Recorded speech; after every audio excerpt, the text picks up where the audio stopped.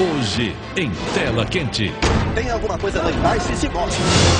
A Terra será invadida por um inimigo de outro mundo. Meu Deus do céu. E para salvar a vida de seus filhos, Tom Cruise precisa vencer a maior de todas as guerras.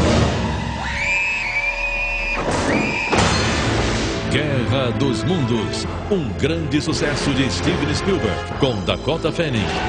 Hoje, em Tela Quente.